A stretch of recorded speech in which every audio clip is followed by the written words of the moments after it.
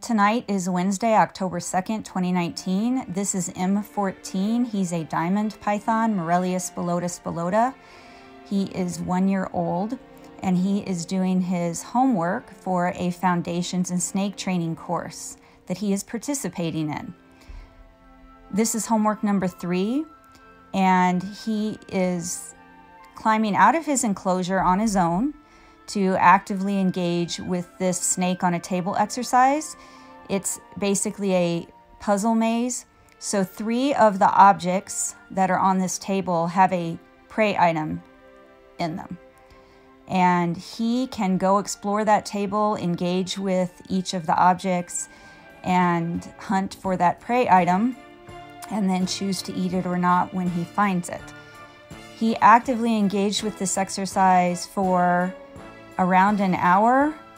I think it was a little over an hour actually. At this point, he smelled the dog and reacted to the movement of my dog who had just finished eating and was resting in his pen. And I'm not sure if M14 thought that the dog smelled like something he wanted to eat or if the dog worried him. But thankfully, he didn't finish his trek across that open space over to where the dog was and he went back to engaging in his maze of puzzles where he was exploring um, by smell and by feel. So he was um, moving around each of the objects, climbing on top of the objects, climbing in and out of the objects.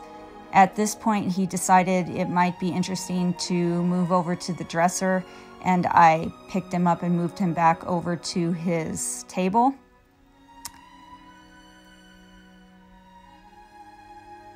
He does end up finding two of the prey items. One of the prey items is in that Iams orange box. And he does not at any point go inside that box, although I thought a couple of times he smelled the prey inside. Then another prey item is on that bluish green plastic container. It's just out in the open. The one he's investigating right now, there's a Reptilink sausage just next to that vase out in the open on that container. And he actually travels quite near it and actually slithers over it a couple of times, but showed no interest in it. There's the Iams box, and that has a hopper mouse in it. Now this green container I thought was interesting because I had done this exercise with one of our corn snakes and I had a mouse inside that green container for the corn snake.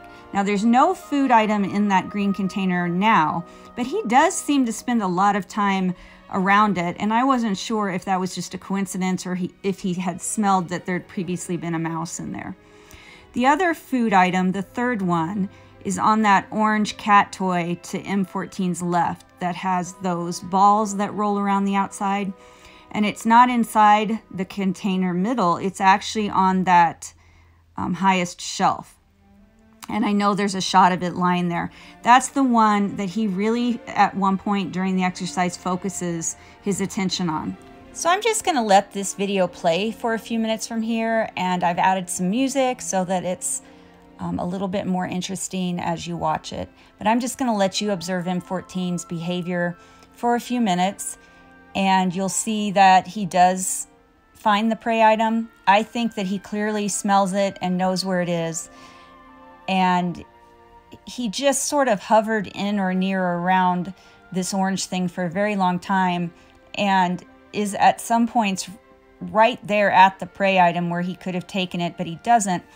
So after probably about 30 minutes or so, maybe 40 minutes, I went and got tongs and I picked the prey item up off that shelf and showed it to him, and he immediately ate it. And then I ended up doing the same thing with the second prey item, but I wanted to get a little bit more training in, so I um, incorporated a short target training session within this snake on a table session to give him the second prey item so he ate two hopper mice and he did not eat the Reptilink. Two hopper mice was plenty of food for him. And after he ate those, he was ready to go back in his enclosure and rest. So enjoy the rest of the video. Thank you for watching. Again, this is M14's homework assignment for week number three of foundations in snake training through Reptelligence.